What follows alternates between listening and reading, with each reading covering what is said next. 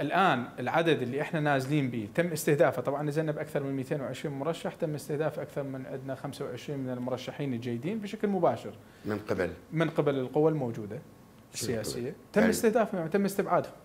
بعناوين يعني من قبل مفوضية؟ مو من, من قبل هيئة المساءله والعدالة؟ إحنا من قبل المساءله والعدالة بعنوان المساءله والعدالة.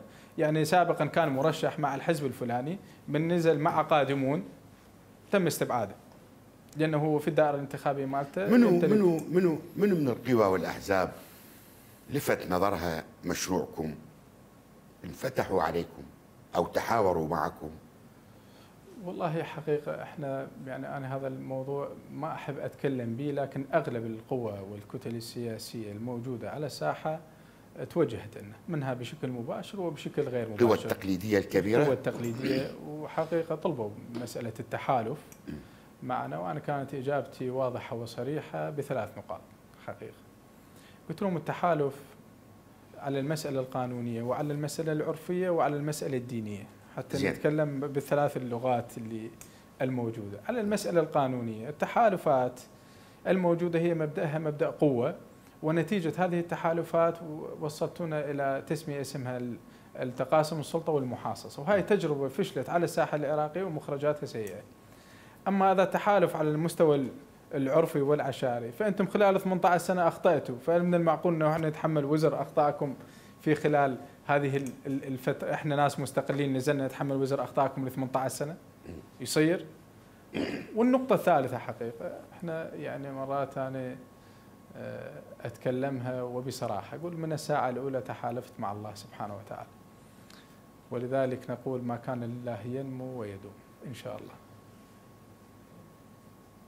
انت رجل تريد أن تشتغل بالطريقة التي اشتغلت بها القوى الراديكالية أو القوى الإسلامي السياسي. يعني أشعر في جزء من شخصيتك. نعم. أكو هكذا توجه.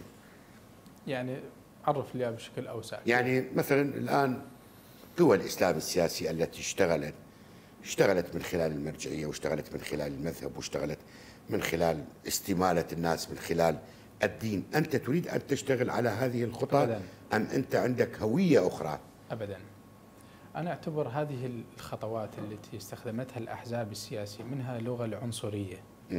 ومنها اللغة الطائفية ومنها اللغة القومية ومنها اللغة آه، لغة النقيض مرات تشوف جمهور تكون على حساب جمهور آخر جمهور الأحزاب أي. جمهور فلان زعيم جمهوره يتكون على حساب جمهور آخر لأن الجمهور هذا يكره الجمهور الآخر وتكون هاي اسمها لغة النقيض واللغة القومية استخدمتها بعض الأحزاب أنه هذا كردي وهذا عربي ووصلت صعدت ناس وعلى حساب ناس وأكو لغة اللي هي اسمها اللغة الطائفية وتعرف من صعد باللغات الطائفية، أنا أعتبر هاي كلها لغات فاشلة وبائسة ولا جدوى منها. اللغة الأساسية اللي يستخدمها مشروع قادمون واللي يعتمدها هي لغة الهوية الوطنية.